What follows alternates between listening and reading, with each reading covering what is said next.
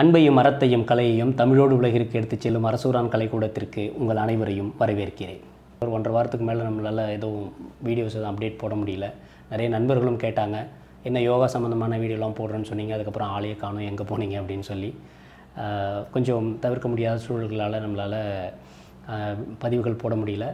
இப்போது நாம் எங்கே விட்டோமோ அங்கேருந்து ஆரம்பிக்கிறோம். இருந்தாலும் நம்மளால் எப்பப்போல்லாம் முடியுமோ இந்த கொரோனா பெருந்தொற்றிலிருந்து மீண்டு வருவதற்கு நம்மளால் முடிந்த விஷயத்த நம்ம வந்து பண்ணியிருக்கோம். ஒரு ஒன்றரை வாரத்துக்கு முன்னாடி கூட நேரடியாகவே சுவாமிநாதன் குருகுலத்திற்கு போய் தலைமை ஆசன் அவர்கள் செய்முறை வ- பண்ண அந்த ஆவி பிடித்தல் மற்றும் புகைப்பிடித்தலுக்கான விளக்கத்தெல்லாம் பார்த்தோம். அதுக்கு உங்களோட ஆதரவும் ரொம்ப நல்லா இருந்தது.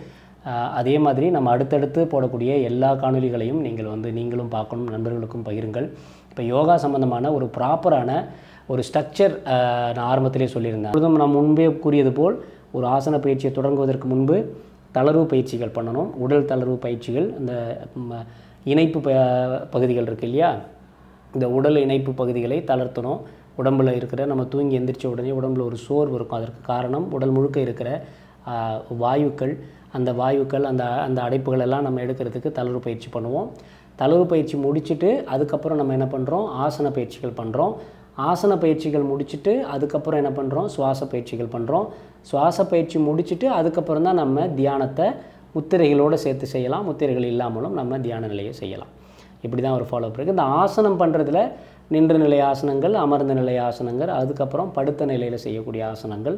அந்த படுத்த நிலையில் செய்யக்கூடிய ஆசனங்கள் அப்படின்னு எடுத்துக்கிட்டோம்னா அதில் குப்புறப்படுத்து பண்ணுறது அதுக்கப்புறம் மல்லாந்து படுத்து இல்லை மேலே பார்த்து படுத்து பண்ணுற ஆசனங்கள். இந்த வகையில் தான் நம்ம பண்ண போகிறோம் ஆசனங்களை. இப்போ அதன் முதல் கட்டமாக நம்ம உடல் தளர்வு பயிற்சிக்கான காணொளிகளை இப்போ இந்த காணொளியில் பார்க்கலாம். அனைவருக்கும் வணக்கம். இன்றைய பகுதியாக நாம் பார்க்க இருப்பது உடல் தளர்வு பயிற்சி. எந்த ஒரு ஆசன பயிற்சியில் ஈடுபடுவதற்கு முன்னரும் இந்த உடல் தளர்வு பயிற்சி என்பது மிக மிக முக்கியமான ஒன்று. உடல் தளர்வு பயிற்சி என்பது வேறொன்றும் இல்லை இப்போ நம்ம வார்ம் அப் பண்ணுறோம் இல்லையா? எந்த ஒரு ஒர்க் அவுட் பண்ணுறதுக்கு முன்னாடி நம்ம என்ன பண்ணுறோம் வார்ம் அப் பண்ணுறோம் அந்த வார்ம் அப் தான் உடல் தளர்வு பயிற்சி. ஆசனங்களில் ஈடுபடுவதற்கு முன்னர் இந்த உடல் தளர்வு பயிற்சி என்பது மிக மிக மிக மிக அவசியமான ஒன்று. இல்லைன்னா சில பக்க விளைவுகள் ஏற்படுவதற்கான வாய்ப்புகள் உண்டு. ஒரு இறுக்கமான சூழ்நிலையில் நீங்கள் இருந்திருப்பீங்க. தூங்கிட்டு இருந்திருக்கலாம். இல்லை உட்காந்து ஏதாவது ஒரு வேலை பார்த்துட்டு இருந்திருக்கலாம். நீங்கள் உடனடியாக வந்து ஆசன பயிற்சியில் ஈடுபடும் பொழுது தசை பிடிப்பு அப்படிங்கிறது ஏற்படும். ஸோ இந்த மசில் ஸ்ட்ரெயின் இருக்குது இல்லையா? அந்த மாதிரி உங்களுக்கு ஏற்படுறதுக்கான வாய்ப்பு உண்டு. ஸோ அதை நீங்கள் அவாய்ட் பண்ணுறதுக்கும் ஆசனங்கள் மிக இலகுவாக செய்வ செய்வதற்கும் இந்த உடல் தளர்வு பயிற்சி என்பது மிக முக்கியம். தளர்வு பயிற்சி என்பது ஒவ்வொரு ஜாயிண்ட் இணைப்பு பகுதிகள் இருக்கு இல்லையா? உடல் இணைப்பு பகுதியில் எல்லாத்தையுமே தளர்த்துறது தான் உடல் தளர்வு பயிற்சி. இப்போ அந்த உடல் தளர்வு பயிற்சியை செய்கிறாங்க பார்த்துக்குங்க அந்த செய்முறை விளக்கத்தை பார்த்துங்க கால் நீங்கள் தலையிலிருந்து ஆரம்பித்து உள்ளம் கீழே பாதம் வரைக்கும் இணைப்பு உள்ள உள்ள அனைத்து இணைப்புகளுக்குமான பயிற்சியை இப்போ நம்ம பார்க்கலாம்.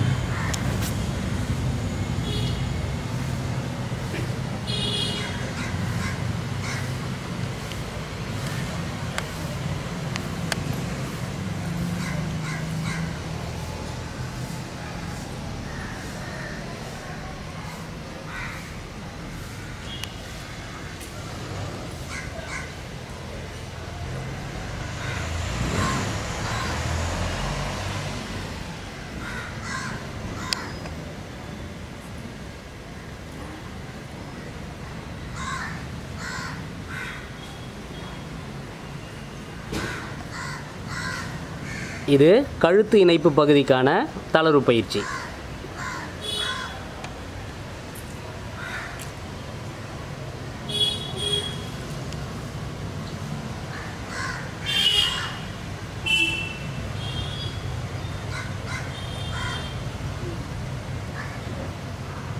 தலை முழு சுற்று இடமிருந்து வளமாகவும் பிறகு வளமிருந்து இடமாகவும் தலையை நீங்கள் சுழற்ற வேண்டும். மிக முக்கியமான ஒன்று நீங்கள் அவர் தலையை சுழற்றப்ப நீங்கள் நல்லா பார்த்தீங்கன்னா தலையை முழுக்க உங்களோட நீங்கள் அந்த மு முகவாய் கட்டை இருக்கு இல்லையா அது வந்துட்டு உங்களை கழுத்தை ஒட்டி உங்கள் நெஞ்சில் படுற அளவுக்கு நீங்கள் சுற்றணும்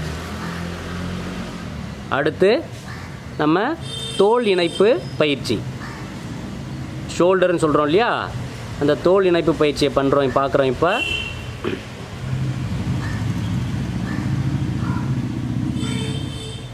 முன் சுழற்சி அப்படியே பின் சுழற்சி.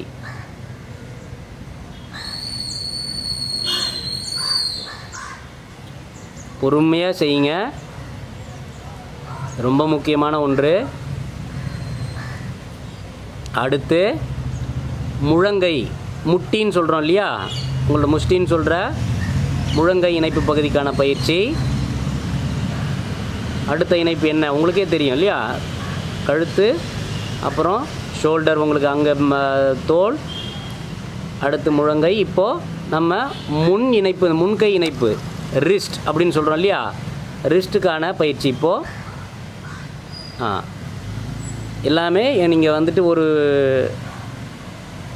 Clockwise anticlockwise முன் முன்னோக்கி சுற்றணும் முன் சுழற்சி அப்படியே பின் சுழற்சி பண்ணணும் அதை தொடர்ந்து. அது ரொம்ப முக்கியம். ஓகே? இப்போ நம்ம என்ன பண்ணுறோம் அடுத்து என்ன இணைப்பு இருக்குது விரல்கள். விரல்களுக்கான பயிற்சி.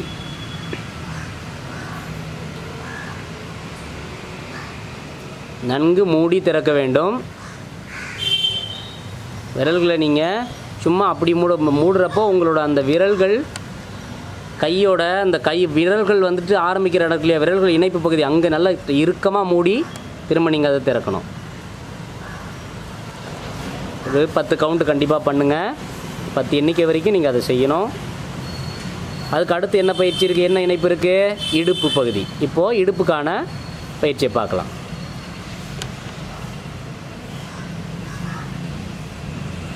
இடுப்பு சுழற்சி. நன்கு உடலை முழு சுற்றாக இருக்க வேண்டும். அது ரொம்ப முக்கியம். முழு சுற்றாக இருக்க வேண்டும். இப்போ அவர் என்ன பண்ணுறாரு இடமிருந்து வளமாக. பின் வளமிருந்து இடமாக. இடப்பக்க சுழற்சி வலப்பக்க சுழற்சி. முழு சுழற்சியாக இருக்கணும்.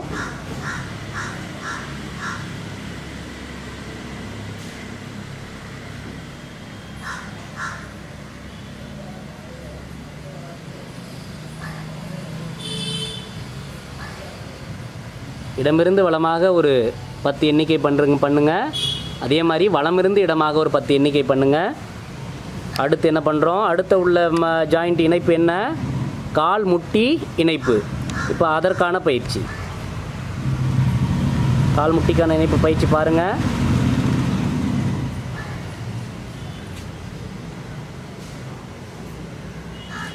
பாதி அமர்ந்த நிலையில் நல்ல ஒரு முழு சுழற்சியாக இருக்கணும். அதுவும் அதே மாதிரி இடமிருந்து வளமாக பிறகு வளமிருந்து இடமாக. ஒரு பத்து எண்ணிக்கை பண்ணுங்க.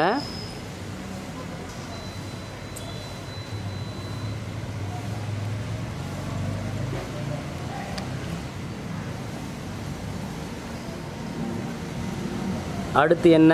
அடுத்து இணைப்பு என்ன? கணுக்கால் இணைப்பு. சரியா? கணுக்கால் இணைப்பு பயிற்சியை பாருங்கள் நன்கு முழு சுழற்சியாக நீங்கள் கணுக்கால் பண்ணுறப்போ பாதம் நன்றாக கீழ் பார்த்து கீழிருந்து மேலாக மேலிருந்து கீழாக நல்ல ஒரு முழு சுழற்சியாக இருக்கணும். வலது கால். அதையுமே நீங்கள் முதல்ல முன் மா- வல வலப்பக்க சுழற்சி இடப்பக்க சுழற்சி பண்ணிவிட்டு அதுக்கப்புறம் காலை மாற்றி அடுத்த காலுக்கான பயிற்சியை செய்ய வேண்டும். இடமிருந்து வளமாக வளமிருந்து இடமாக பண்ணணும். பண்ணுறப்ப நல்லா கவனிங்க. நல்லா எந்த அளவுக்கு ஒரு முழு சுழற்சி ஒரு முழு வட்டம் அதனால் நீங்கள் பண்ணணும். கால் விரல்களையுமே நீங்கள் நல்லா மூடி திறக்கிறது நல்லது. கால் விரல்கள் இருக்கு இல்லையா? அதை நாங்கள் மூடி இது நீங்கள் பண்ணுறப்போ உங்களுக்குள்ளே நீங்கள் ஒரு நல்ல ஒரு உணர முடியும். கால் விர கை விரல்களை நம்ம எப்படி மூடி திறக்கிறோமோ அதே போல் கால் விரல்களையும் நல்லா இறுக மூடி திறக்கிறப்ப உங்களாலேயே வந்துட்டு உங்களால் நீங்கள் அதை செஞ்சு பாருங்கள் அதனால் ஏற்படுற விளைவுகள் என்னன்னு நீங்கள் அந்த நேரத்திலே உணர முடியும். நம்ம பொதுவாக கை விரல்கள் நிறையா மூடி திறந்திருப்போம். கால் விரல்களை அந்த அளவுக்கு நம்ம மூடி திறந்திருக்க மாட்டோம்.